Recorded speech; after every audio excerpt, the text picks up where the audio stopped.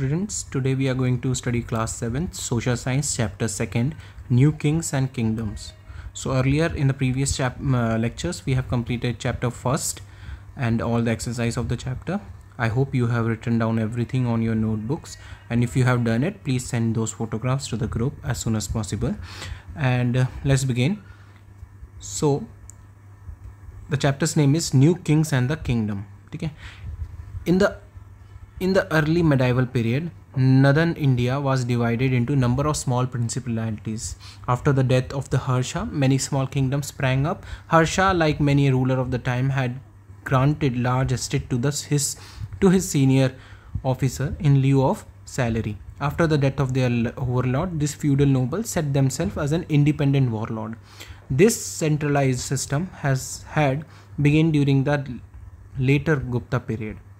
Samanta samanta और petty chieftains they are given land grants in return for which they had to pay taxes to the king और even maintain a small army which the king could call upon during emergency so यहाँ से यहाँ तक में क्या लिखा है कि शुरू में अर्ली मेडिवल पीरियड में पूरा इंडिया छोटे छोटे साम्राज्यों से भर, भरा हुआ था। क्यों? क्योंकि आप हर्षा के डेथ के बाद पूरा इंडिया डिसइंटीग्रेट होकर छोटे छोटे किंगडम्स में बढ़ चुका था। ठीक है? सो हर्षा ने भी अपने रूल के टाइम पर क्या किया कि बहुत बड़े बड़े जो सीनियर ऑफिसर्स थे उनके जो कार्यकाल में जो भी ऑफिसर्स थे, उनको सैलरी देने के बजाय उनने क्या किया कि उनको अब ज़मीन देने लगे। ठीक है? और ये जब ज़मीन उनको मिल जाती थी तो उसके बाद जो जो ऑफिसर्स लोग होते थे यदि वो आदमी मर गया, जो राजा था, वो मर जाता था। उसके बाद वो लोग अपने आप को बोलते थे कि हम इस राजा से अलग होके इस जगह पे अपना राज बनाएँगे। तो दे बिकम इंडिपेंडेंट वॉरलोड्स ठीक है? जैसे यहाँ लिखा इंडिपेंडेंट वॉरलोड्स बन जाते थे। ठीक है? सो ये इंडिपेंडेंट होकर अलग अलग हो जाते थे। तो ये कब हुआ? ये लेटर गुप्ता पीरियड हुआ। मतलब गुप्ता पीरियड के आखिरी आखिरी पार्ट में क्या हुआ? बाद में क्या हुआ? ये सब शुरू हो गया कि धीरे धीरे डिसेंट्रलाइज हो गया। डिसेंट्रलाइज मतलब छोट, बड़ा साम्राज्य छोट टूट टूट के छोटा छोटा होता गया। फिर किसका इंट्रोडक्शन हुआ? सम, यहाँ लिखा है समा, समंत और पेटी चीफियंस मतलब समंत बोलते थे छोटे से जो मुखिया होते हैं, उनका बोलते हैं, ठीक है? सो इन मुखियों का काम क्या था कि इनको ज़मीन मिल जाती थी और ये लोग फिर किंग को टैक्स देते थे उस ज़मीन पे और इसके बाद या फिर किंग ये भी कह सकता था कि तुमको एक स्मॉल आर्मी रखनी है जिसको मैं समय पे बुलाऊँगा जब इमरजेंसी होगी। फिर आगे क्या लिखा है? On the face of it this arrangement made a lord of sense The king could uh, maintain the core of the royal army and spread the burden of maintaining the rest of the huge, costly army across several no- nobles. This system also suited the noble because it gave them local autonomy, wealth, and influence and actual military power. The undesirable result of this feudal pact was that it, if the king's power declined, the noble usually revolted since their land and army had already made them quite powerful. So after Harsha's death, due to the subsequent confusion, this Samant become, soon became quite powerful and adopted pompous titles such as Mahasamanta or Mahamandeshwara, meaning the great lord of the circle of the region. So क्या हुआ कि ये जो system था जिसमें राजा लोग अपने nobles nobles मतलब वो होते हैं जो राजा लोगों को मदद करते हैं सरकार चलाने में। बड़े बड़े जिससे ना राजा लोग अपने कुछ राय लेते हैं या उनको, या बहुत बड़े बड़े लोग होते हैं आर्टिस्ट होंगे या बहुत दिमाग वाले लोग होंगे। जैसे कि जैसे कि आपने सुना होगा चाणक्य था एक नोबल। ऐसे ऐसे राजा लोगों के डिफरेंट डिफरेंट नोबल्स हुआ करते थे, जिसका बहुत महत्व होता था सरकार चलाने के लिए। तो सरकार चलाने के टाइम इन लोग को सैलरी नहीं देते थे, ज़मीन देते थे। तो ये सिस्टम धीरे धीरे बहुत सेंस भी करने लगा कि राजा को अब है ना एक आर्मी रखनी पड़ती थी। और जब बड़ा आर्मी की ज़रूरत पड़े तो इन लोगों को बोलो कि जाओ, हमारी आर्मी लेके आओ जो तुम लोग क्यों मेंटेन करने के लिए बोली थी। इससे क्या होता था? इनका खर्चा भी बचता था। और ये नोबल्स के लिए भी मदद करता था। क्यों? क्योंकि उनको अपने एरिया में दम भी दिखाने को मिलती थी, पैसा भी मिलता था और इसके बाद क्या होता था? इनके पास एक मिलिट्री भी पावर बन जाती थी। मगर इससे क्या हुआ? एक गलत चीज़ भी हुई कि किंग की पावर यदि डिक्लाइन हो गई, यदि किंग की पावर कम हो जाती थी तो ये लोग नोबल लोग है ना धीरे धीरे करके विद्रोह कर देते थे कि राजा की अब हम बात नहीं मानेंगे और अब इनके पास लैंड, ज़मीन भी थी और आर्मी भी थी तो ये राजा से लड़ भी सकते थे। तो राजा के डेथ हर्षा के डेथ के बाद क्या हुआ कि कन्फ्यूज़न के कारण बहुत सारे समंत जो लोग थे राजा, हर्षा के डेथ के बाद जो समंत लोग थे, ये ज़्यादा पावरफुल हो गए। और इनने ना बड़े बड़े टाइटल रखने लगे, जैसे कि महासमंत और महामंडेश्वरा। जैसे कि इसका मतलब क्या होता है? The great lord of the circle और रीजन एक जगह का बड़ा राजा मतलब भगवान, उन्हें अपने आप को कहने लगे। कब के? हर्षा के बाद, क्योंकि हर्षा बहुत पावरफुल लीडर था। हर्षा के मरने के बाद बहुत सारे छोटे छोटे साम्राज्य बन गए और पावर भी कम हो गई और उनके ऊपर कोई राजा भी नहीं था जिसका डर हो उनको। तो उनने बहुत पावर बना ली अपनी आर्मी भी बहुत मज़बूत कर ली। फिर आया राष्ट्रकुटास के बारे में पढ़ते हैं। यहाँ लिखा है राष्ट्रकुटास। ठीक है? So Rashtrakutas were earlier subordinates to the Chalukya ruler one of the samanta who made the transition from the subordinate to sovereign was Rashtrakutas. An instance was Dandi Durga, Rashtrakuta chief who in the mid 18th century declared himself independent of Chaluka rule. So so, Rashtrakuta जो ruler थे पहले ये क्या थे? जो राष्ट्रकूटा कभी आप पढ़ोगे आगे क्या थे राष्ट्रकूटा राष्ट्रकूटा एक बहुत बड़े राजाओं का एक फैमिली है ठीक है? मगर ये पहले क्या थे? कि पहले चालू का रूलर्स जो थे चालुक चालुक रूलर थे इन लोग के अंडर काम करते थे। तो फिर क्या हुआ? उनके अंडर क्या थे? ये एक छोटे से समंत थे। ठीक है? धीरे धीरे इनने पावर ले लेके ले लेके ले इनने एक नाम बना दिया जो कि राष्ट्रकुटा करके फ़ेमस हो गया। अभी आपको आगे पता लगेगा इनने क्या किया था। ठीक है? सो इसमें से एक इंस्टेंट है डांडी दुर्गा, जिसने राष्ट्रकुटा का एक चीफ था। राष्ट्रकूटा एक जैसे कि आपने बोला ना, मुगल होते हैं, फिर गुप्ता आए वैसे ही राष्ट्रकूटा है। चालू का रूलर्स थे, फिर एक राष्ट्रकूटा रूलर आया। तो राष्ट्रकूटा रूलर्स में एक था डांडी दुर्गा। ठीक है? इसने मिड एटीन सेंचुरी में इंडिपेंडेंट अपने आप को इंडिपेंडेंट घोषित कर दिया चालुका रूल से। उसने बोला, हम चालुका के जो राजा लोग हैं, इनका हम ऊपर नहीं मानेंगे, अपने ऊपर नहीं मानेंगे और अपने आप को आज़ाद घोषित करते हैं और अब हम अपना ही रूल चलाएँगे। तो उसके बाद राष्ट्रकोटा अपने आप से सॉरी क्या चालू का रूलर से अलग हो गए। फिर क्या लिखा है? To commemorate to commemorate this occasion he organise he organise an yajna called hiranya garbha the golden womb though he was not a kshatriya by birth this made him one so इसको क्या बोलते हैं? यदि राष्ट्रकूटा जब राजा बने तो उसको उनने सेलिब्रेट करने का सोचा कि इसको हम कैसे सेलिब्रेट करें? तो उनने एक यज्ञ किया। उस ज़माने में यज्ञ वगैरह बहुत तरीके के होते थे। तो उनमें से एक यज्ञ था, हरियंक का गरबा मतलब द गोल्डन वुम्ब मतलब सोने का गर्भ। ठीक है? इस, इसमें क्या, इस इसमें इसकी वजह से क्या हुआ कि ये लोग पहले ना, उस टाइम रूल था कि जो ब्राह्मण थे, सिर्फ़ वो प्रीस्ट बनेंगे पंडित लोग बनेंगे, धर्म का काम संभालेंगे, क्षत्रिय राजा बनेंगे और सबको अपना अपना कैटेगरी दिया गया था, वैश्य बिज़नेस करेंगे और ऐसे ऐसे करके सब अपना अपना क्लास क्या होती थी, जो काम करते थे, उसके हिसाब से क्लास होती थी। मगर जो राष्ट्रकुटा थे, ये जब पैदा हुए थे, ये लोग क्षत्रिय नहीं थे। क्षत्रिय राजा बन सकते थे। मगर ये यज्ञ करा इनने खुद ने तो इससे क्या बोला कि इसकी वजह से इन लोग को क्षत्रिय घोषित कर दिया। ठीक है? इस यज्ञ करने की वजह से। फिर आगे क्या लिखा है? On the other hand some enterprising person also set up independent kingdom Mayur Sharman the founder of the Kadamba dynasty and Harichandra said to be the founder of the Gurjara Pratihara dynasty leave their traditional vocation and establish kingdom they were by professional Brahmins but took to arms a kshatriya domain typically occupied by the Rajput so जो later धीरे धीरे ऐसे और सारे राजा लोग भी अपने आप को इंडिपेंडेंट घोषित करने लगे, जैसे कि मयूर शर्मन। कौन? मयूर शर्मन। कहाँ का था? ये कदम्बा डायनेस्टी का फाउंडर था। और कौन था? हरिचंद्रा। ठीक है? ये हरिचंद्रा कौन था? गुजारा पतिहारा डायनेस्टी का फाउंडर था। इनने अपना जो ट्रेडिशनल तरीका था और ये सब बदल के नया तरीका अपनाया और एक अपना खुद का साम्राज्य बनाया। और ये लोग प्रोफेशनली ब्राह्मण थे। मतलब ब्राह्मण मतलब पंडित लोग थे। ठीक है? ब्राह्मण थे। फिर इनने क्या हुआ?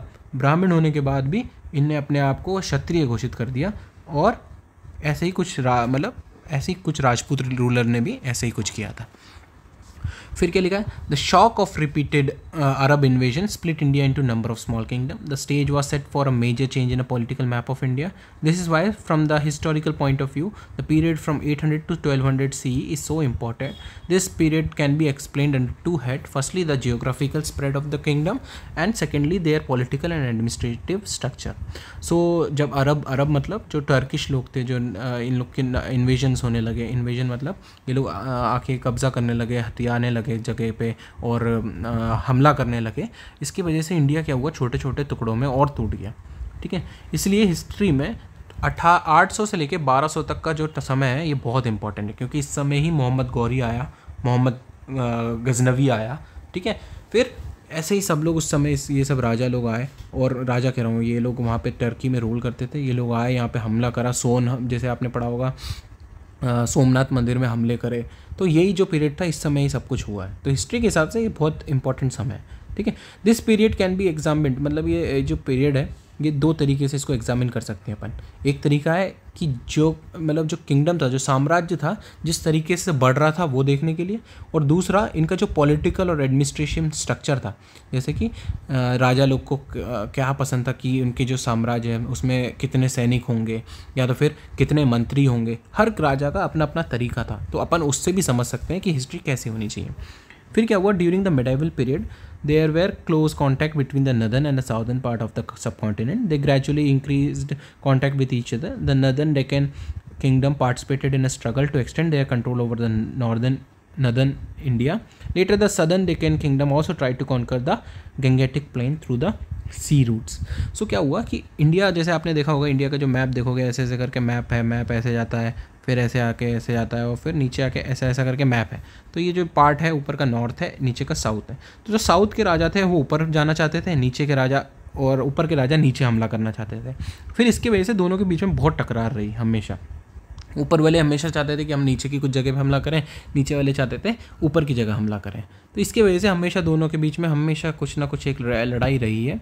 सो इसकी वजह से सात, जो सदन, जो साउथ का जो डेकन एरिया डेकन मतलब जो नीचे का एरिया होता है, अपन इसको डेकन कहते हैं। नर्मदा के नीचे का जो एरिया है, जैसे नर्मदा नदी यहाँ से बहती है, इसके नीचे का जो एरिया है, इसको अपन कहते हैं डेकन ठीक है? सो ये डेकन जो एरिया है सो इस एरिया का जो सदन पॉइंट है मतलब यहाँ के जो राजा थे, ये चाहते थे गंगा के पास का एरिया लेना है। गंगा कहाँ बहती है? बिहार, यूपी और ऐसे ऐसे एरिया से गंगा आती है, ठीक है? सो ये लोग चाहते थे कि यहाँ के एरिया को, अपन को कब्जा करना क्योंकि उस एरिया में बहुत समृद्धि थी। मतलब पानी था, मिट्टी बहुत अच्छी थी और क्या बोलते हैं, जंगल बहुत अच्छे थे, हाथी बहुत अच्छे से मिल जाते थे तो उन लोग को था कि हम लोग गंगा के एरिया में क्यों ना अटैक करें, ठीक है? सो इसके वजह से क्या चालू हुआ? Tripartite struggle tripartite मतलब तीन जन थे इसमें, तीन साम्राज्यों की लड़ाई चालू हुई, ठीक है? सो तीन साम्राज्य की लड़ाई चालू हुई। अपन उसके बारे में पढ़ते हैं, ठीक है? Between between seven fifty C to twelve hundred C many powerful empire arose in northern India and Deccan the Pala king ruled the eastern and northern region of India till the middle of till the middle of middle of ninth century so क्या हुआ कि 750 से लेके 12 तो सी तक सी e तक जो बहुत सारे पावरफुल एम्पायर उठ के आए नॉर्थ में और डेक्कन एरिया में। ठीक है? इनमें से जो पाला रूलर थे, ये ईस्टर्न पार्ट में थे and northern region of India में ईस्ट और नॉर्थ एरिया में थे। जैसे कि ये मैप में देख सकते हो, ये ईस्ट एरिया में पाला है। ये देख रहा है पाला दिख रहा है आपको, ये पाला लोग यहाँ रहते थे। ठीक है? Till the middle of ninth century ninth century तक यहाँ भी थे, यहाँ भी कुछ एरिया में थे। ठीक है? The Pratihara empire dominated western and northern part of India अब प्रतिहारा लोग थे, कहाँ पे थे? प्रतिहारा इस रीजन में थे। ठीक है? और क्या लिखा है? कौन से सेंचुरी में थे? ये लोग टेंथ सेंचुरी में थे। While Rashtrakuta empire dominated the Deccan Deccan का जो एरिया था, जैसे मैंने आपको बताया, नर्मदा यहाँ से यहाँ तक बह रही है तो डेकन का जो एरिया है, इसमें यहाँ पे राष्ट्रकूटा रूल करते थे। तीन राजा कौन कौन थे? पाला, गुजारा, प्रतिहारा और तीसरा कौन है? राष्ट्रकूटा। यहाँ यहाँ तीन जन ऐसे ऐसे रूल करते थे। ठीक है? All this empire struggle to mastery over Kannauj possession of which was symbolic of sovereignty over northern India so यहाँ एक जगह आपको दिखेगी, बहुत इंपॉर्टेंट है। उसका नाम है कन्नौज ठीक है? यह है कन्नौज यहाँ क्यों था? ये गंगा के पास था कन्नौज और यहाँ पे बहुत समृद्धि थी। जो आदमी कन्नौज पे राज कर लेगा, वो पूरे हिंदुस्तान का राजा होगा। ये सोच के ये तीनों यहाँ पे अटैक करना चाहते थे। इस जगह को हथियाना चाहते थे, इसलिए ये ट्री पाइट्रिएट स्ट्रगल चालू हुआ। ठीक है? सो पढ़ते हैं आगे। The ball was set in motion by the clash between the Pratihara ruler ruler Vatsaraj and the Pala ruler Dharmapala the Pala ruler was defeated and Kannauj fell in to the hand of Vatsaraja but at at this crucial stage the Rashtrakuta ruler Dhruva attacked the Pratihara territory the Pratihara ruler had to rush to Rajputana Dhruva returned to the Deccan and Dharampala seized the chance to recover his territory, recapture Kannauj and become the lord of the North India. तो क्या हुआ कि अब यहाँ पे युद्ध अब शुरू होने वाला है ठीक है? सो सबसे पहले क्या हुआ? प्रतिहारा रूलर था प्रतिहारा मतलब ये जो ब्लू वाला एरिया है मतलब मैं आपको बताऊँ ये वाला एरिया है ये है प्रतिहारा ठीक है? इसका जो रूलर था उसका नाम था क्या था? वत्स राजा ठीक है? और पाला का रूलर का नाम क्या था? धर्मपाल धर्मपाल ठीक है? सो इन दोनों की लड़ाई चालू हो गई। तो धर्मपाल हार गया वत्स राजा जीत गया, ठीक है? So Pala ruler was defeated and Kannauj fell in to the hand of Vatsaraja. अब कन्नौज किसके हाथ में आ गया? यहाँ, प्रतिहारा के हाथ में आ गया। फिर क्या हुआ? जैसे ही प्रतिहारा ये इसकी खुशी मना रहा था, इसी क्रूशियल स्टेज में राष्ट्रकुटा ने इस पर हमला कर दिया। राष्ट्रकुटा का रूलर कौन था? ध्रुव। ध्रुवा रूलर था। ठीक है, प्रतिहारा रूलर था। इसने क्या किया? अब क्या हुआ? प्रतिहारा ने डर के मारे किसके पास गए? बोले, राजपूतों के पास चलो मदद के लिए। सो जब ये प्रतिहारा रूलर अब राजपूता की तरफ़ गए और ध्रुवा जो था, वो वापस अपने डेक्कन की तरफ़ चला गया। ध्रुवा जो है, अब वो राज वापस अपने डेक्कन में चला गया। फिर राजपूत लोग जब आए तो इसके डर के मारे राष्ट्रकूटा वापस अपने एरिया में आ गया, जो ध्रुवा था, वो वापस आ गया राष्ट्रकूट जगह पे। और जो पाला रूलर था, पाला रूलर ने देखा कि क्या बोलते हैं यहाँ पे, कि अभी जगह बाकी है, यहाँ पे लड़ाई झगड़ा चल रहा है तो पाला रूलर ने वापस से अपना एरिया जो जो था, वो सब कब्जा कर लिया, जो हार के उसने लूज़ किया था। और कन्नौज को भी उसने रूलर कर दिया, इसके साथ वो नॉर्थ का बहुत बड़ा राजा बन गया। कौन? धर्मपाला। फिर इसके बाद क्या हुआ? नेक्स्ट रूलर आया, प्रतिहारा का नागभट्टा। ठीक है, नागभट्टा रूलर आया। उसने ही also try to capture Kannauj but the Pratihara attempt was failed foiled by the intervention of the Rashtrakuta ruler Govind three so Govind three राजा राष्ट्रकोटा था। ये इसमें और फिर से इसकी इंटरप्शन हुआ दोनों का। इंटरप्शन हुआ, इसकी वजह से वो फिर से फेल हो गया। कौन? गुजारा प्रतिहारा। क्योंकि नाग नागभट्टा चाहता था कि अपन हमला करके कन्नौज फिर से वापस ले लें, मगर गोविंद थ्री की वजह से वो नहीं कर पाया। फिर आगे के लिखा है? दस, Dharmapala and son Devapala continue to rule over Kannauj. When Devapala successor proved weak and incompetent the Pratihara ruler Nagabhatta two defeated Chakrayudha of Kannauj and transfer is capital to that city he founded the Gurjara Pratihara kingdom at Kannauj this put an end to the hundred year struggle among the three power of for the control of Kannauj अब क्या हुआ कि धर्मपाला का बेटा देवपाला ने भी इस पर राज किया और बहुत साल तक इनने अच्छा राज किया इस पर मगर देवपाला के बाद जो राजा थे वो लोग इतने पावरफुल नहीं थे, अच्छे नहीं थे। इसके बाद क्या हुआ? जब वो इतने अच्छे पावरफुल नहीं थे तो प्रतिहारा और इनके रूलर कौन बना? नागभट्टा सेकंड अभी अपन जो पढ़े थे वो नागभट्टा सेकंड था। वो कब से कब तक राजा था? 805 से लेके 833 एडी तक वो राजा था। इसने क्या किया? चक्रयुद्ध को डिफीट कर दिया। चक्रयुद्ध देवपाला का सक्सेस मतलब सक्सेसर मतलब बच्चा था। उसने बच्चा मतलब सक्सेसर मतलब होता है जो नेक्स्ट जिस कोई गद्दी पे सेकंड आता है, इसके बाद आता है नेक्स्ट आदमी जो आता है, उसको कहते हैं सक्सेसर ठीक है? सो कन्नौज पे उसने राज किया। इसके बाद वो लोग जो चक्र मतलब नागभट्टानंद टू ने चक्र युद्ध में हरा दिया कन्नौज को। उसके बाद, इसके बाद यहाँ पे इनने फाउंड क्या किया? गुजारा प्रतिहारा किंगडम को यहाँ पे इस्टेब्लिश किया। पहले ये प्रतिहारा थे, फिर ये लोग गुजारा प्रतिहारा हो गए। ठीक है? और यहाँ पे इनने कन्नौज पे रूल किया। इसके बाद इन्हें हंड्रेड इसने क्या किया? इस राज ने हंड्रेड ऑफ़ ईयर का स्ट्रगल मतलब ये सौ साल तक लड़े ये दोनों, सब लोग, तीनों। सौ साल तक इस कन्नौज के लड़ते रहे। इसके साथ क्या हुआ? कन्नौज की लड़ाई ख़त्म हो गई। प्रतिहाराओं को ये मिल गया ऊपर का एरिया, जो आज आप नक्शे में देख रहे हो। और पाला के पास ये एरिया था और राष्ट्रकूटा के पास ये एरिया था। तीनों के पास ये ये एरिया थे, अपने अपने, आखिरी में ये एरिया बचा। But they are mutual conflict and the prolong struggle for power had exhausted stamina and resources of the three contender they went into decline and within 300 years all three kingdom collapsed and gave way to the new powerful power new power the Rashtrakuta Empire was overthrown by the later Chalukya. The Pala of Bengal were replaced by the Senas and the Pratihara Empire broke into many small and unimportant states. मगर ये क्या हुआ कि जब इतने साल की लड़ाई ने इन सबको कमज़ोर बना दिया अंदर से भी टूट गए उसके बाद क्या हुआ कि ये तीनों साम्राज्य तीन मतलब तीन सौ साल में टूट के ख़त्म हो गया।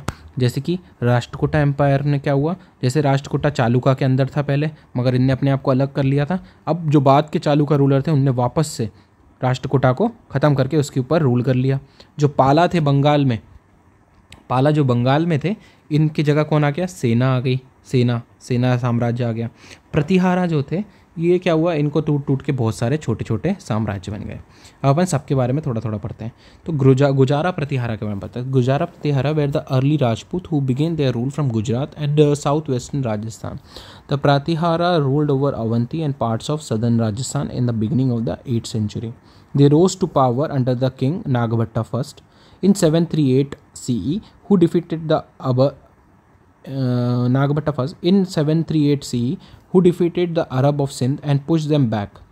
King Bhoja was the most powerful Pratihara ruler. He ruled from 836 CE to 885 CE. Arab ruler Suleiman, who visited India around 855, had praised King Bhoja's reign.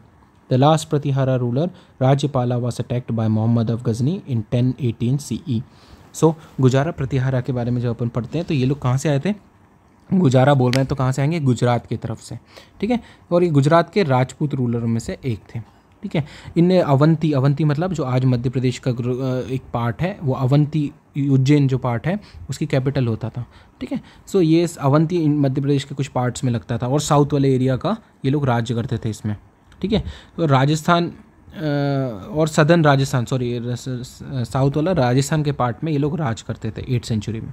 ये किंगडम सबसे, इसमें जो सबसे पावरफुल राजा था, नागभट्टा फ़र्स्ट जिसके रूल में ये बहुत बड़ा किंगडम बन गया, ठीक है?